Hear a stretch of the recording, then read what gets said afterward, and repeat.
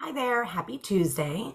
Um, this week, because we're entering into the whole fall season, yesterday, for, yesterday was just Labor Day for us here, and all those things, and transitioning into the school and into a new season coming up in a bit, and all those lovely things. I thought it would be a good time to talk about transitions. Um, excuse my raspy voice. We did go to an amusement park over the weekend, so I was screaming a whole lot on the roller coasters. And so yeah, so pardon the um still two days later raspy voice from that. Um, so anyway, so back to transitions.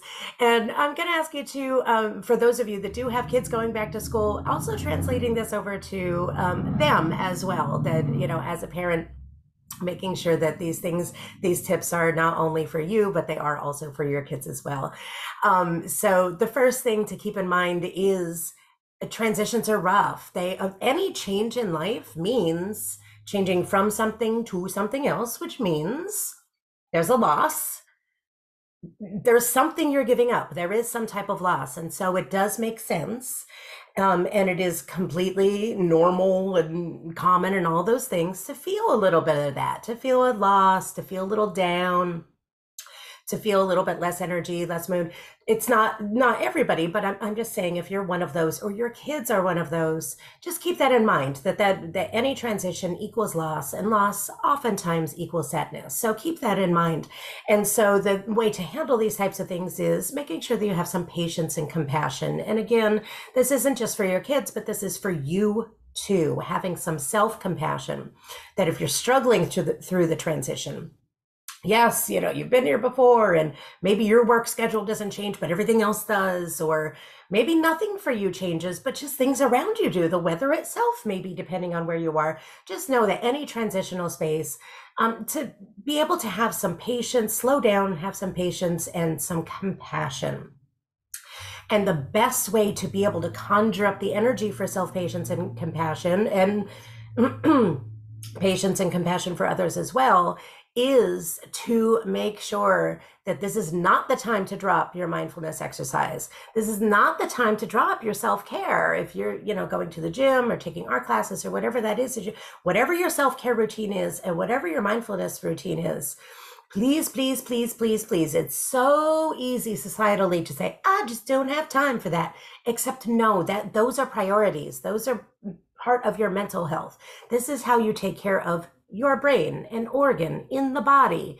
So making sure that you're taking care of your body and your brain so that you have the energy for this loss, for this transition, for this change, for everything else.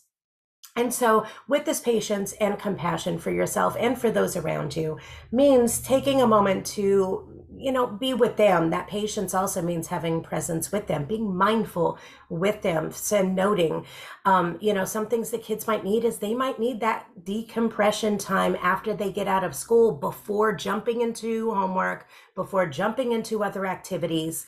You know, like many of us, when we get done with work, we just need that time to decompress before shifting into home mode our kids are no different.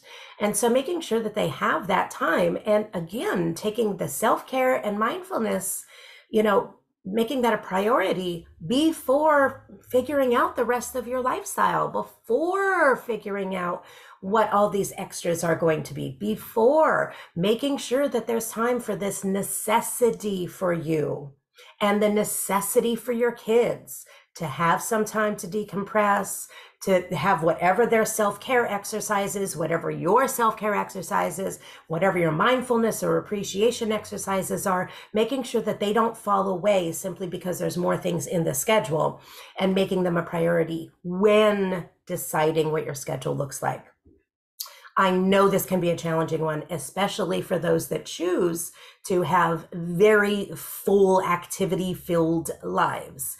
And so I know that this can be a touchy subject and this can, but, but I'm going to encourage you to please, please, please consider finding ways to keep that again mindfulness doesn't take any extra time. That's something you do while you're living life and taking your self-care and making sure that you block time for that eh, for you as well as those in your family. Another tip if you are a parent is expect some regression. It just happens. With transitions your kids may regress in age and, and maturity and all that kind of stuff just for a little while. Um, oftentimes it's just you know their brain is also getting used to so many new things. And so they it, they kind of it takes some of that energy towards you know working to be mature and all of those things and it kind of regresses back a little bit. So expect that that that itself also is normal can be expected it's very very common for your kids to regardless of age to regress during a transition so just know and, and again have patience and compassion for that if that does happen and it usually only lasts a little while um, as always, let me know if you have any questions or if you have any topics that you would like me to talk about, and I will see you next week. Have a great, great week. Bye bye.